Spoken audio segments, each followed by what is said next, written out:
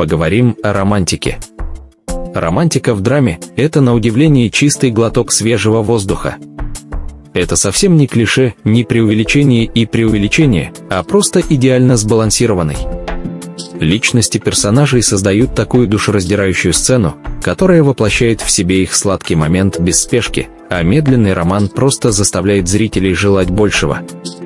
Именно такова чистая романтика в реальной жизни, и я рад, что они показали и отобразили ее именно таким образом в Дораме.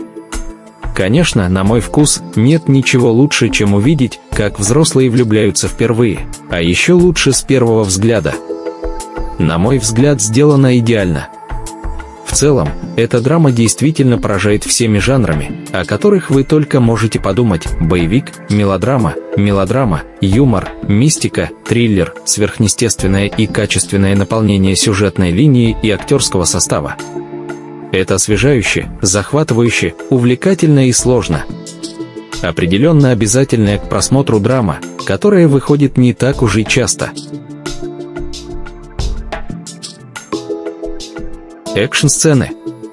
Экшн были убийственными и невероятно невероятными, а они серьезно держали меня в напряжении. Производство и качество превзошли мои ожидания.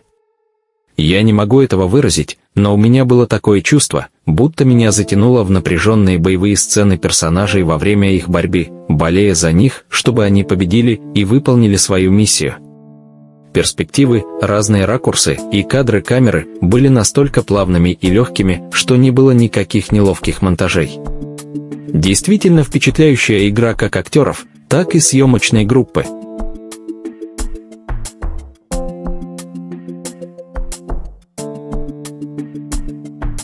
Персонажи.